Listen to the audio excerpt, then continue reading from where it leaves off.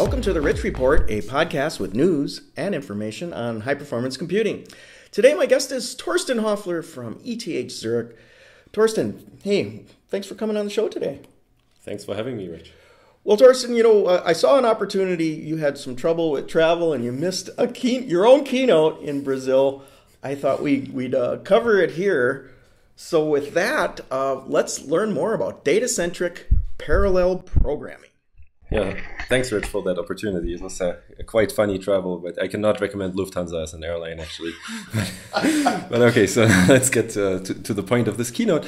Uh, Data-centric parallel programming is actually a, um, um, yeah, well, a project that has been going on since quite a while in my lab. Um, it is uh, funded by the European Union as an ERC project and is, is quite old, but it's a huge team effort. And I first want to acknowledge all the team members that you can see on the slide, like Alex, uh, Tal, Guillermo, Timo, Mathieu, and Johannes and the whole team that has been involved in, in developing this quite complex piece of software and set of ideas actually. It's, it's really a large set of ideas in, in my lab. Uh, furthermore i want to uh, make you aware of the EuroMPI conference that will be held in september in wonderful zurich uh, where we are right at uh, right now. And rich actually likes the weather apparently. Yeah i do Excellent. So let's get started with this, uh, with the motivation of the talk. So first of all, the interesting insight that we already had multiple times is that the hardware is changing over the last couple of decades, and many of you have seen this diagram. And in this diagram, it really shows the development of hardware from 1970s to um, the days today. And we all know that about uh, 2006, um, Dennard scaling stopped, and this is why the multi-core crisis was started. And um, we got more and more uh, cores that we have to deal with, and the resurgence of the parallel programming field was actually starting hard. But what um, some of some of industry is still arguing is that Moore's law is actually uh, dead, in my opinion, and some people agree. But somehow this economic argument is not quite uh, moving forward anymore as it used to be. So we are still in the exponential scaling area, However, Moore's law, strictly seen, which has the constant to the, uh, which had a constant to the exponent that every 18 months the number of transistors doubles at equal cost, is strictly seen not true anymore. And so now we need to understand how to use these transistors more efficiently. But let me give us a little bit of a background how scaling happened in the in the past. So we started I mean, way earlier, but there was an, an, a time where we were running from 130 nanometers to 90 to 65 to 45. This is actually when I got involved somehow um, as, a, as a young student uh, working for AMD, trying to help them to develop high-K dielectrica to make this, this happen.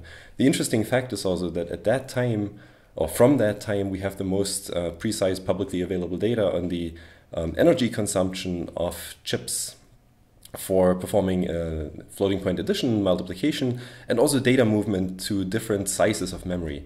So for example, here you can see the data for 32-bit floating point addition, which is uh, one picojoule, multiplication three picojoules. But what's more interesting is that actually the data movement from an eight kilobyte cache, for example, in level one cache, is already 10 picojoule.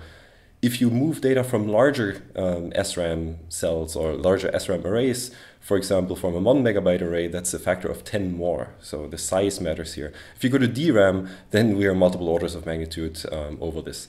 But then the scaling continued, of course, and as you know, today we are going down to um, 7 nanometers in the latest uh, process. And this trend is clear, but it's also clear that this trend will stop at some point because obviously zero nanometer is, a, is a one boundary point, um, but the size of an atom is also a boundary point. But what probably many of you uh, don't know is that there is another limit involved in the scaling of uh, computation, and this is called the Landauer limit. So the Landauer limit is, uh, is basically the amount of energy required to erase or um, or uh, create a single bit, so a single bit of entropy. And this is what I have on the slide here. Now the question is, are we close to that Landauer limit already in the energy consumption? Because that Landauer limit is a lower bound in terms of physics. So if you want to uh, flip a bit from 0 to 1 or from 1 to 0, that's the amount of energy you need. So 3 times 10 to the minus, uh, 21 joules. But today we are still um, about a million away from that if you look at the uh, computers that, that we, or the chips that we build today. So that's not a big problem. However, the other problem that we have that we're actually facing actively today is the electrical data movement. where we can see that the electrical data movement here is equivalent, or the, the electrical, the loss due to electrical data movement is equivalent to the resistance times the length of the wire, which is fine, but divided by the cross-section area. And the interesting insight is here that as we shrink the transistors, we shrink, of course, the metal layers with them because they have to fit underneath the logic. And that means that we will increase the energy consumption for the same distance we are moving. And this increases linearly, so this is a huge problem. So what this basically means, we have a physical reason for moving towards higher locality. And this is what brings me to the uh, three L's of modern computing in this sense. So locality, locality, locality. But it's of course spatial locality, temporal locality, and control locality. So you know these, um, the first two from school. And the last one is not so obvious because the last one, the control locality, is something that I want to introduce now. Actually, if you are interested in the first two and also partially in the, uh, the last one, we, there is a very good overview paper by Didem Unat, uh, who's also at this conference here, um, and, and friends, and I've also been involved, that really overviews the trends in data locality abstractions for HPC systems for the coming years and also the past. But now let me explain what I mean by control locality. So if we go back to von Neumann, um, we have a very simple uh, load store architecture which has been dominating the computing market basically since uh, its inception. Um, if you want to solve this x equals a plus b, let me explain how you would do this. You would have a memory, you would have an arithmetic logical unit, you would have a set of registers, and you would have a control block that basically interprets the control instructions to execute the actual calculation. Furthermore, you have a cache, but the cache has no functional um, capacity in this sense. So the cache just improves performance. Then they're all connected by um, a, a, control path, which is here shown in red, and also a data path, which is shown by the width of the path. And what happens in a von Neumann architecture is that the control unit loads an instruction from memory that instructs the um, data fetch unit to load the value into a register. Furthermore, of course, since we need two values, we need to load another control instruction from memory that instructs to load the second operand. And then since we want to add them, we need to load another control instructions that the instruction from main memory that tells us to add these two values. And then, of course, we want to store it back. So as you can see, every single operation here requires a load from memory of an instruction, but also typically a load from memory of an operand if it's a memory instruction. So there's a very high overhead in this control just by moving the data for the control itself, that the uh, architecture knows what to do, but also the data in general that has to go back and forth between main memory and the, and the register bank. And here, um, actually a very nice uh, energy breakdown by Mark Horowitz shows us that uh, the total energy consumption per instruction in the 45 nanometer process that I showed in the previous slide is 70 picojoule, but the add itself, the actual operation being performed, is nearly negligible. So it's, it's what, 5% here, I would guess, from, from this plot. But we'll see it in a, in a couple of minutes. But then there was another different idea um, basically what many people call non-von Neumann architecture, static data flow architectures, which were already kind of hinted at uh, by Backus in 1977 in his Turing Award uh, acceptance lecture, that we really should not accept the von Neumann bottleneck or the von Neumann architecture as the final wisdom to perform computation. So now the question is, well, we have been living with this for years, but can we make the computation more efficient by looking at a different architecture? And of course, we are not first to look at this. Data flow architectures are old very old concept, but they have so far not been highly successful in um, in the industry because they are quite hard to program. Let me now show you how data flow architecture works. Of course, in the memory, you also have the operands and uh, the result vector as you want. And here I have a, a, slightly more complex equation because with only one operation it would be quite simple. And then you build a network where the ALUs are aligned to the actual operation that you want to perform. What's now different or very different from the load store architecture is that the buffers are specifically placed in that network very close to the ALUs and the connections are specifically designed to only solve that one particular purpose. And if you now solve this equation, as you can see, this is kind of the data flow style. The data flows to these uh, arithmetic logical units again um, that now have a single purpose only the energy consumption is orders of magnitude less than the uh, load store architecture because there's no such overhead as fetching the data because the data itself is uh, uh excuse me the the uh, fetching the instructions because the instruction and the uh, what is executed itself is in fact encoded somehow in the structure of the data flow network itself. This is why I would say that the control locality of data flow is extremely high, while it's quite low in von Neumann because you have to fetch these non-local control instructions, while in the um, data flow architecture, it's there is basically no control instruction, so thus very high locality.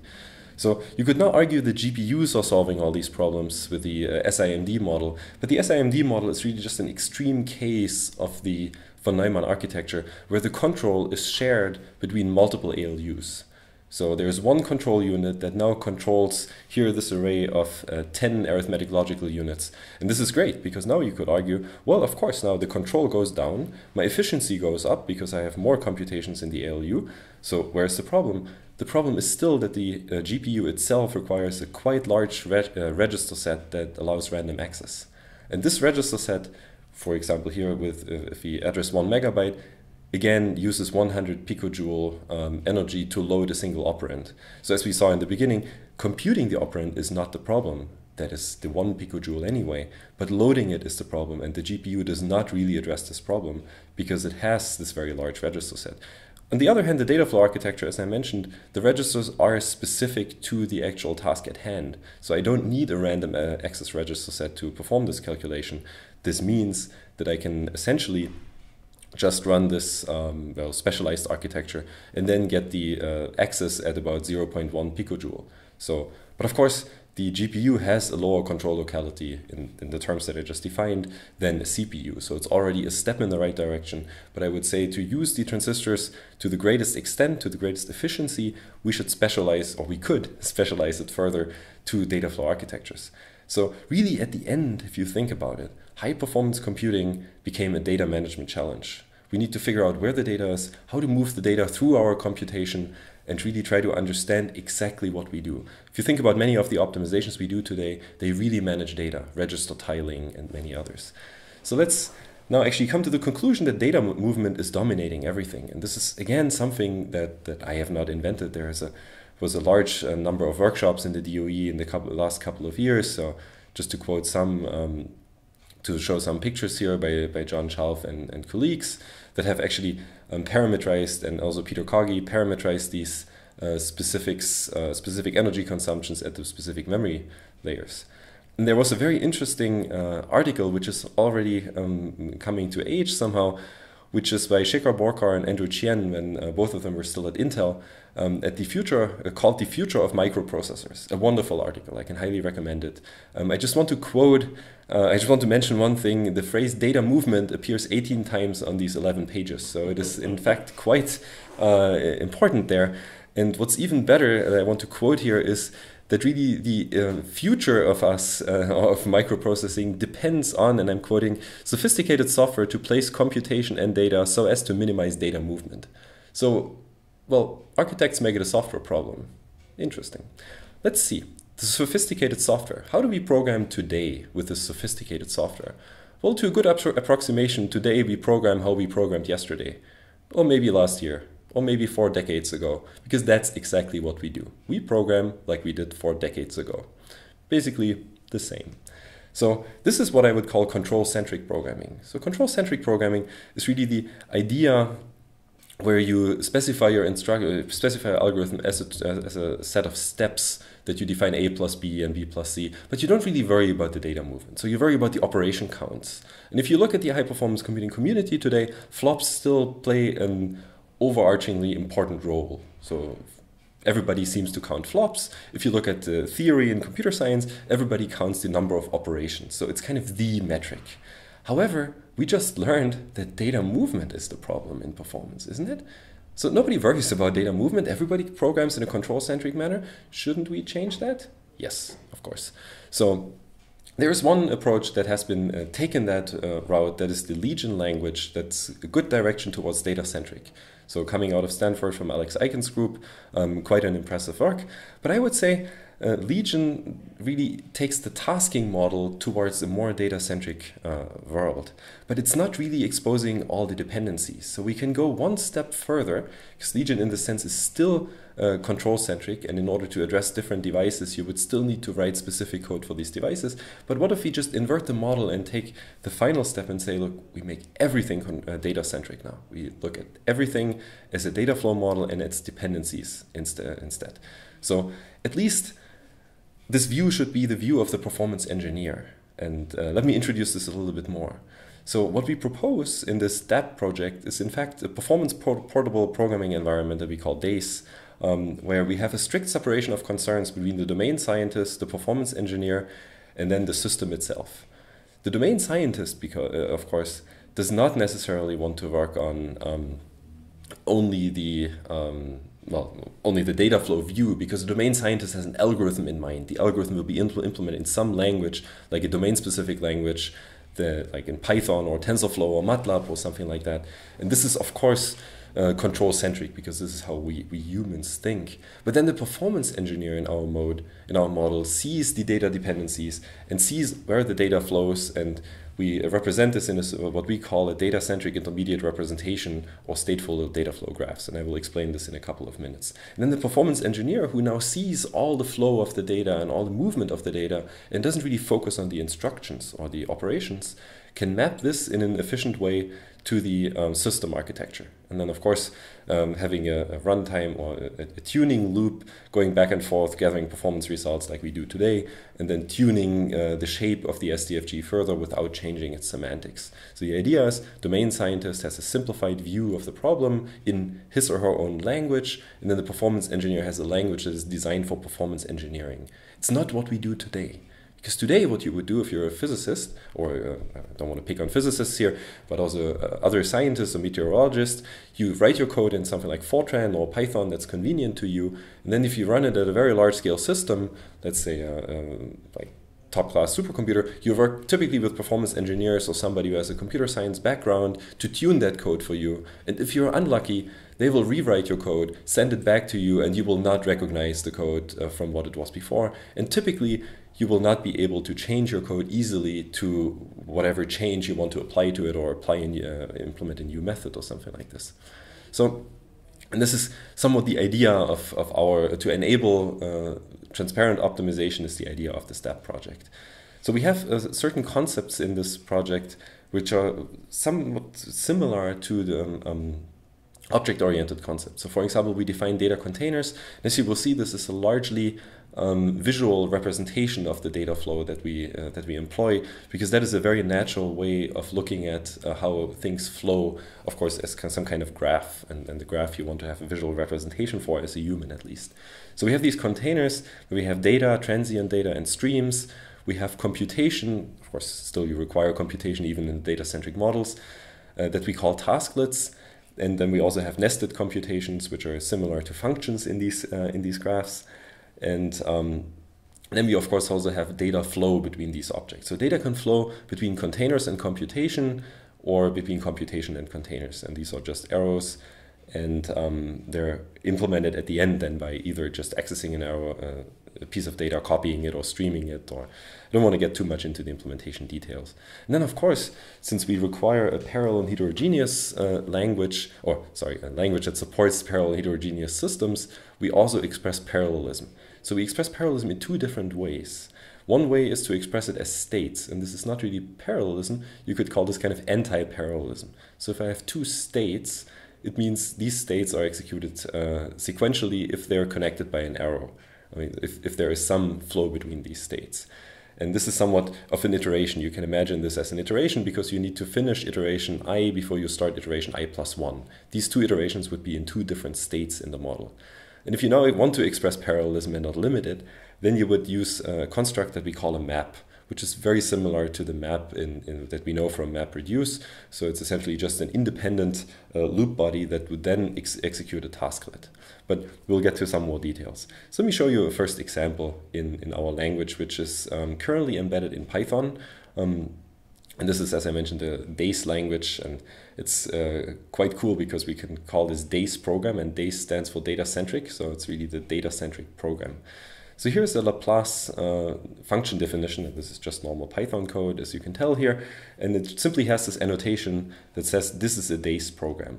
And then you would write your loops like you would use them, and uh, like you would, are used to writing them, and uh, you can already see that we have a DACE map in there, which basically indicates to the runtime system that this would be a parallel map. And then we have the, the computation tasklet. So this still looks very much like a normal Python program with a bunch of annotations. What is now different or special about our view is that we now specify the data dependencies. In this case, the data dependency specification is uh, somewhat overly complicated and could be derived by a good compiler, but this is just an educational case where you can see that we now um, actually have this array A, it's a Laplacian operator after all, where we um, have two different, um, where we represent two different steps of the operation because it's an iterative process, as you can see in this range T up there. And um, we write to the even and the odd ones in, uh, in the different, uh, so we read from the even and write to the odd, or read from the odd and write to the even in the different iterations. And this is all represented by this data dependency specification here. So now our tool chain can derive automatically from this uh, syntax that we chose. So variable name, direction, either reading or writing, and then a data identifier, which is a, a, a container in that case, and then uh, a little bit of uh, lametta for the number of accesses, and then of course a range in this uh, array that we can actually identify fine-grained data accesses relative to the specific offset of the array. And we can also show this graphically, which is now more intuitive to the performance engineer, of course, the trained performance engineer, that we would um, have this one state here. This is the blue box. And then we have the data flow represented in the state. So you can see the map, um, this um, ranging from i equals 1 to n minus 1, reading from the array A, and then uh, the data is ingested by this Laplace operator in three different um, kinds. And then I mean, this is this is the stencil operator basically that reads three different elements. And then it uh, emits or it writes one output array element and then the map is over. And this is of course written again to a. Then once the iteration is over we go back to the same state because we repeat the next iteration exactly the same unless t is now bigger or small t is now bigger than the capital T which is the total number of iterations so this is the simplest program you can write. We'll get to some more complicated programs soon.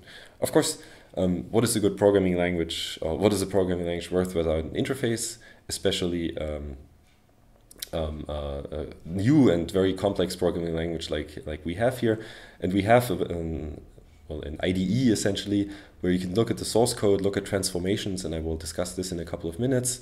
Look at the resulting graph of the source code, so the data dependency graph look at the generated code because at the end our Python code, as you can see here, is going to be uh, going to be transpiled into a C++ code because Python is not known uh, as an interpreted language, not known to be running very efficiently on high performance computing systems. Thus, all the code that eventually runs on the system is C code that we generate from the Python representation. And we also have an, an uh, built in performance uh, measurement and analysis uh, framework in this uh, DIODE user interface that, that we have experimentally right now. So let me show you an example. And on the left side, so this is matrix multiplication on an x86 machine.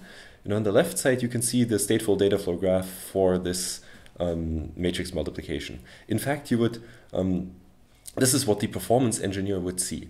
Now what the performance engineer can do is, of course, evaluate the performance of this particular implementation. So this means we would take the stateful data flow graph, we would generate C++ code, and we would run that C++ code on the, um, on the target architecture. And this is what we do here. This is the naive implementation. We do a first optimization, which we call MapReduce Fusion, and now we can go ahead and we can apply a different optimization. So you see this one where the loop indices in the first map switch, if performance gets higher, now we do tiling, now we do another level of tiling, we introduce local storage. You can see how the stateful data flow graph um, successively gets more and more complex. We can now um, introduce some transient arrays. And at the end, we get about 25% close to Intel's MKL, which is highly tuned to that particular um, particular architecture. And I could now show you um, show this to you in a small demo, but, but let's not do this. Uh, there's a video online that we can link um, later. This shows that, that demonstrates this. This takes about five minutes. And actually, if you tune more, you can get to 98.6% of the math kernel library um, that Intel provides. And now the question is, of course, do we really care about matrix multiplication on x86 CPUs? Well, the answer is, if you're an academic, maybe, uh, but of course there is more to it. And now let me explain uh, the performance portability aspects, because I have not really shown you performance portability, I've just shown you how to generate fast code for x86. And there are now two different aspects to this. the two different architectures that I explained to you before, right? the load store architectures. Question is how do we map to this? And then I will, in the next slide, I will explain how to map to the data flow style architectures or pipelined architectures. So what we do for load store architectures, we have a recursive uh, code generator that emits C++ or CUDA codes for uh, CUDA code for GPUs. And here's just a small excerpt of the generated code. Um, the parallel for imp implementing parallelism, we either use OpenMP, atomics, and threads on CPUs, or we use um, CUDA kernels and streams like you would do on a standard uh, GPU today. And of course, in the graph itself, all the connected components that are not dependent can run concurrently, so which is actually a quite nice side effect. So you get functional parallelism in addition to the data parallelism you would uh, just simply have if you do a standard OpenMP or something like this. And of course, then we need to understand how to map the memory and how to interact with accelerators. But this is just simply allocating memory and shoving it back and forth to the computation as we need it. But this is, okay, I say it simply, but this is actually the key of the, of the um, framework itself. And the assumption is always that we never change the tasklet code. So we never change the calculations. We only change the way we move the data back and forth and the mapping of the data. This is the key concept, which makes it different from compilers because compilers would need to understand, uh, traditional compilers would need to understand the data dependencies from the actual operations, which we don't because we have all the data because you already gave it to us as a programmer. And this is why we can uh, transform all these codes in a very aggressive way and change the data movement quite aggressively. For example, we can map the specification you give us to a fully pipelined architecture like an FPGA or a CGRA or something that uses uh, the silicon more efficiently than load store architectures.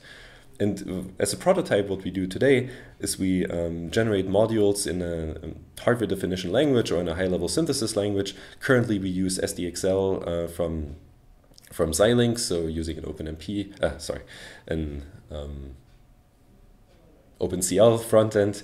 And, and here we, we implement um, a small FPGA state machine. So basically every nested SDFG, which is an SDFG inside an SDFG, as I mentioned before, it's similar to a function call as a small FPGA state machine.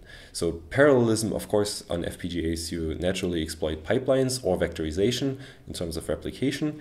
Um, this is just something we do automatically. So a map, you can either vectorize or pipeline. Um, successive maps that are data dependent, you can pipeline in any case. And then, of course, you can now parametrically define systolic arrays, like, for example, the uh, you know, Google TPU implements um, in hardware. So we can do this all from your code. Right? So we can build you a specialized systolic array um, relatively automatically from your whatever your problem is, and not just matrix multiplication like the TPU supports today.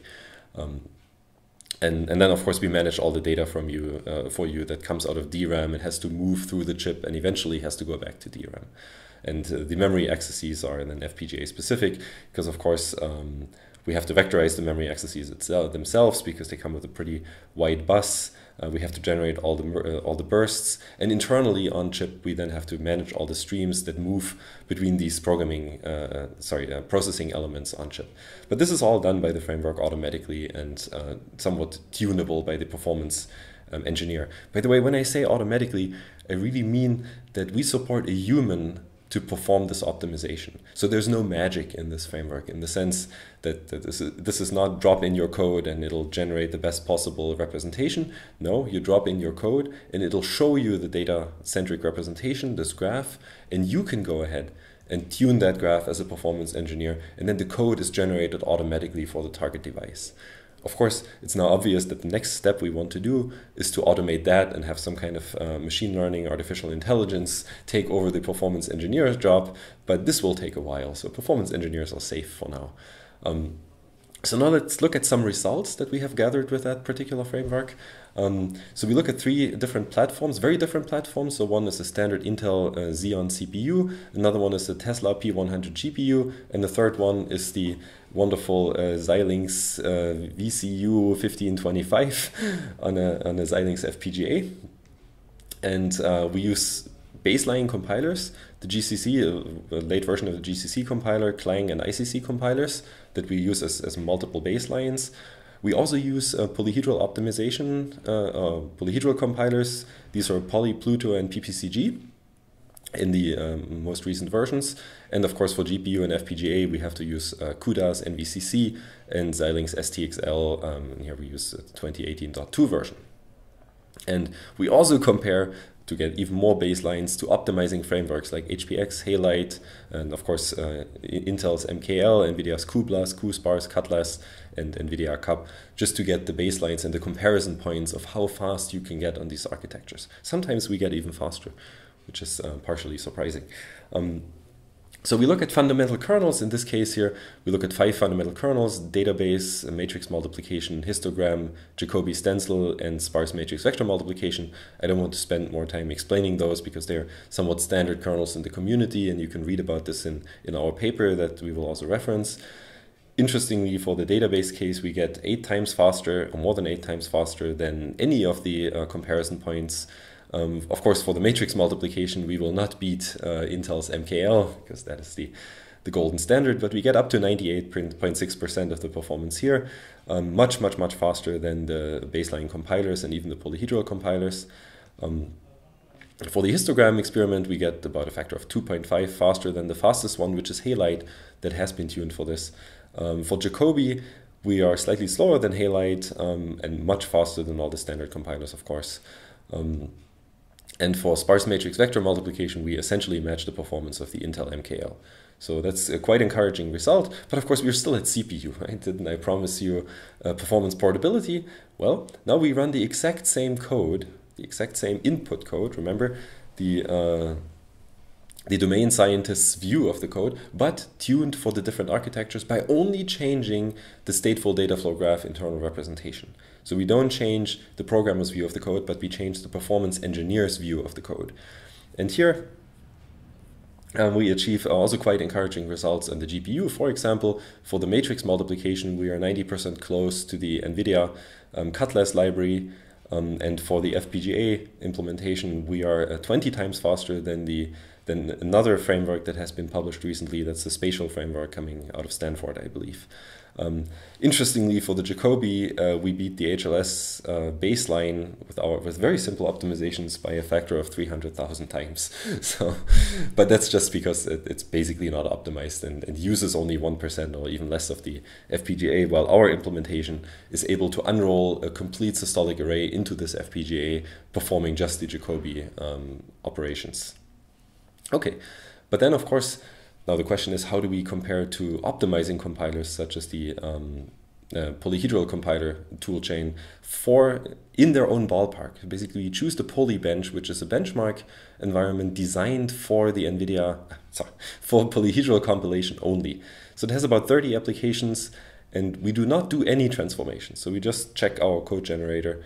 Um, over the general purpose compilers, and there we achieve uh, 1.4x or 40% geometric mean speed up over all these uh, 30 applications. And, you can look at them in the paper if you, uh, if you really want to know all the details. But interestingly, for the automatically transformed GPU code, we are still faster than the polyhedral frameworks themselves.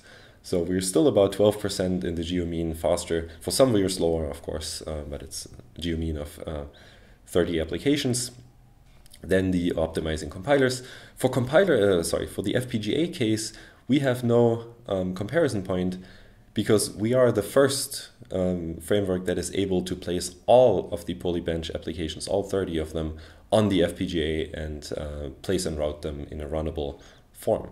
So now let's do a small case study, parallel breadth first search, so that you a bit more understand how, to, how this works. And we are comparing here to Galois and Gluon, which are the state-of-the-art uh, frameworks for this. We look at some graphs, um, road networks, social networks, and synthetic graphs to just see that it also works for non-structured uh, applications. So it also works for breadth first search, which is a completely un unstructured uh, application. So in here, I could now explain you for uh, 30 minutes this very complex uh, SDFG, but I'm not going to um, because that is just something that, that you can digest at home or you can ask us later about uh, how this uh, exactly works. But BFS is also supported by the framework. And interestingly, we achieve speed up over uh, all the manually tuned graph frameworks um, designed for this specific purpose. So now I showed you performance portability, but at the end you're still you're still skeptical, I would believe, because so far we've only looked at micro benchmarks. And microbenchmarks is, of course, for HPC folks, not too exciting because we care about real application. So in the last part of my talk, I want to remind you of the actual goal of this uh, DAPP project to take a domain scientist and enable the domain scientist to write a full application and then a performance engineer to tune a full application to a specific system or to multiple specific systems. So let's now do a case study with a real application. Actually, that application is uh, getting back to the beginning of physics because I mentioned that the problem in transistors today is that they overheat. So if we could actually cool these transistors better, then or somehow avoid the heating in, the, in those transistors. Um, I told you that we are still a factor of a million away from the Landauer limit, so there's some something to be gained. Then we could scale CPUs better, and we could move forward um, even in the silicon design today. So we could actually push the Dennard scaling a bit further. So this is the research of one of my colleagues at ETH, Mathieu Luisier, um, who is a physicist or uh, working in the ETET uh, in the electrical engineering department, and he's trying to understand the material properties of these transistors with uh, ab initio simulations. So, and I could now explain you all of these plots. In fact, I could not explain you these plots, but Mathieu could explain you these plots. Um, and these are generated by a simulation code that is actually quite well known in the um, high performance computing community, because that code called Omen has been a Gordon Bell Award finalist twice once in 2011 and once in 2015. In one of those two years, and now I'm blanking on the exact year, it was even an honorable mention for the uh, for the award itself. So it is a quite well-known code, well tuned, and solves a real science problem. It's also a quite large code, so it has about 90,000 lines of code. It's combining C, C++, CUDA, MPI, OpenMP to achieve that performance uh, that was reported in these uh, Gordon Bell finalist runs. So we are taking code that is not trivial to optimize. So this code actually consists of multiple phases. And, and again, I'm, I'm not the mathematician or, or physicist in this case, but it solves a set of equations in iterative form. It combines so-called, uh, uh, uh, well, solves the Green's function equation and uh, combines SSE uh, steps moving back and forth between the electrons and the phonons. So, but we need to ask Mathieu about the details.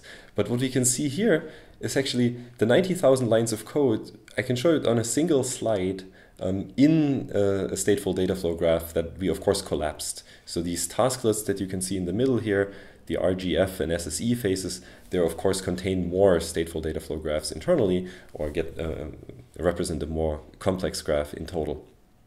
So, but in general, it's these two phases, GF and SSE. So let's focus on the SSE phase.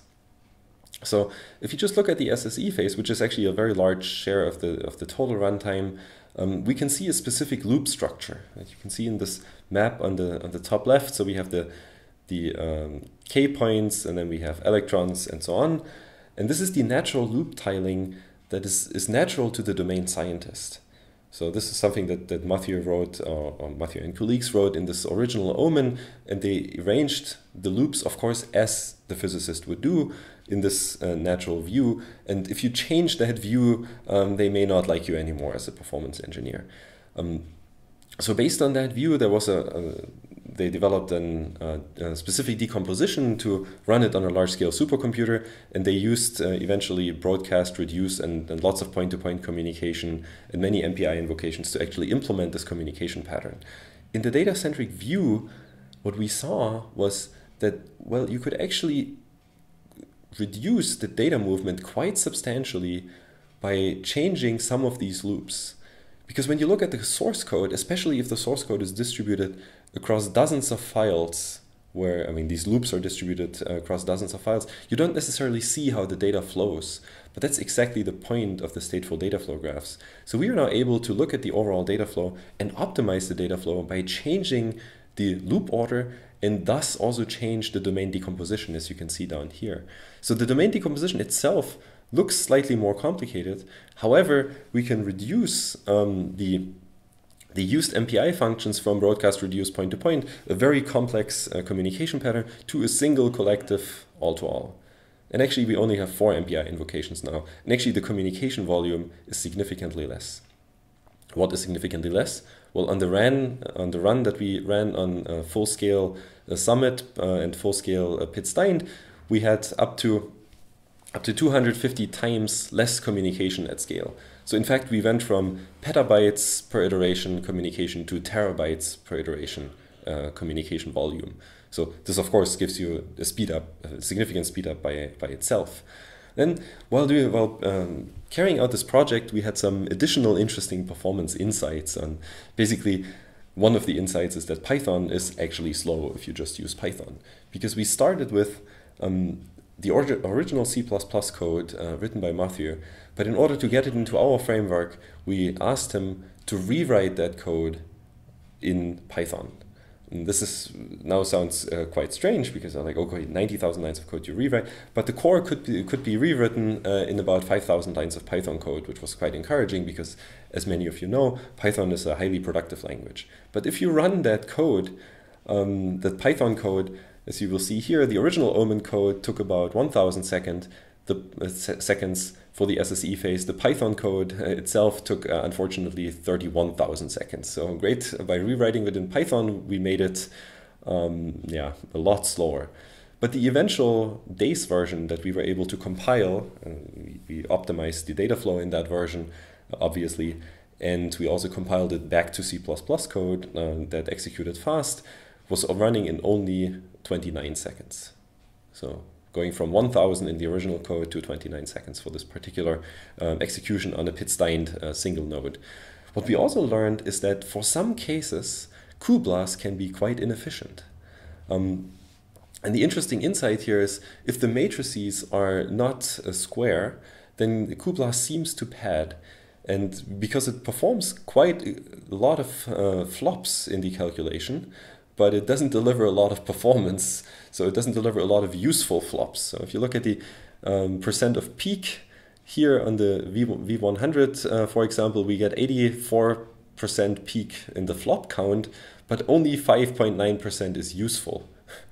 So somehow there seems to be some uh, padding going on, which is quite interesting because if you floptimize, if you want to achieve the highest possible flop rate, then this is quite nice.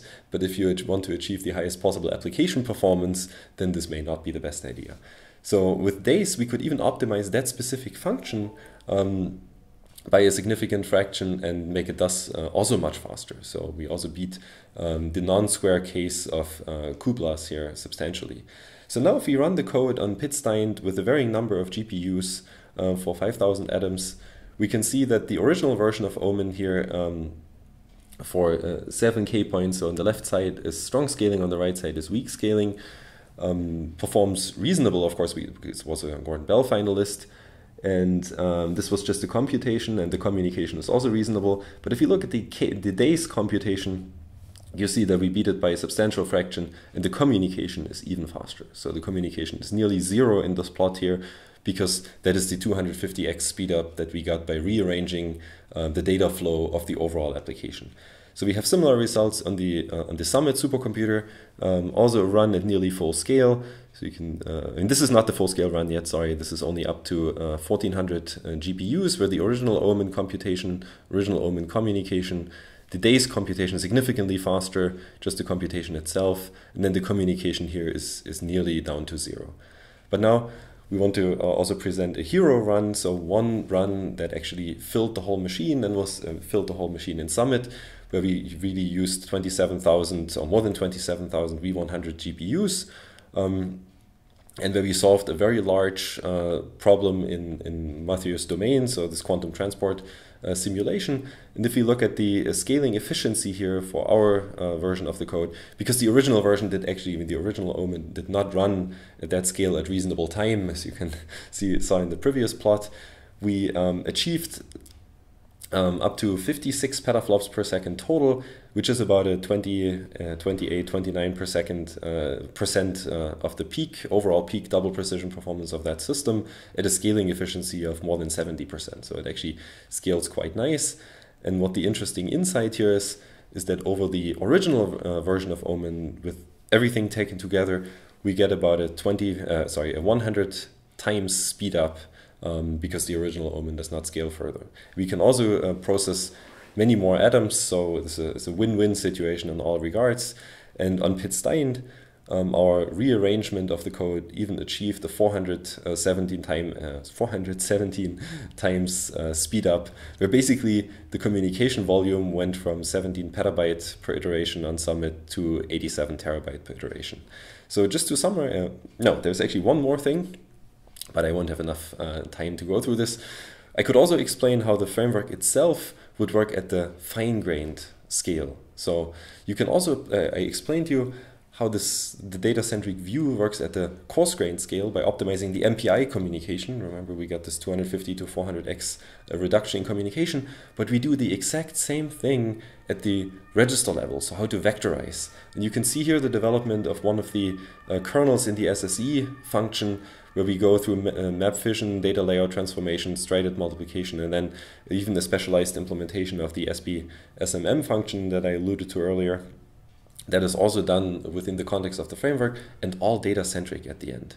So just to, to wrap up, I mean, as I mentioned, this project is uh, funded by the by the ERC the, that I received a couple of years ago, which is now running highly successfully. So we showed that data movement is actually a central concept or a central problem in high performance computing that has largely been ignored in the way we program today. Um, we showed one way to attack this, and of course, there will be many other ways to attack this. So I actually hope that the community will uh, stand up and now embrace this data centric view and uh, create some competition for us. In our specific implementation, we separate the concerns between domain scientists and performance engineer, then the system. The key is that the performance engineer has the data centric view. Then we implement a full interface that, that shows all of this, I mean, a visual interface. Because now, of course, if you look at the data centric representation, it's a textual representation that we are used to today is maybe not the most efficient one. But honestly, we are still exploring these things. We have a textual as well as a, a graphical representation for these graphs, and we will see which ones, uh, which one will um, um, perform best at the end. We showed you lots of performance data for micro benchmarks. We showed you that one application, um, the Omen application of quantum transport uh, simulation, uh, actually the framework itself was able to um, improve it by a factor of 100x. And remember, this is a, a two times Gordon Bell finalist, so this was not a, a, baseline code that was untuned or something. This code was actually highly optimized, and we enabled a new science with this framework itself. So with that, I would like to conclude my talk and uh, get back to Rich. So great, Torsten. I'm glad we could record this. Uh, one question came to mind. You know, we live in a time of uh, multiple memory hierarchies, right? We mm-hmm. have yes. we have DRAM, we have persistent memory, we have uh, you know NVMe, we've got uh, this Optane stuff. Could this um, work within your framework that you just described? Yes, this is, that is actually part of the motivation for that framework because the yeah. memory hierarchies get more and more complex. It's not necessarily even a hierarchy. I wouldn't call it memory network because it's not always hierarchical. And uh, this complexity needs to be managed somehow. And, and the big question is exactly well, how do you manage this? And this is where the data centric view comes in. Okay, okay. Well, that's it for the Rich Report. Stay tuned for more news and information on high performance computing.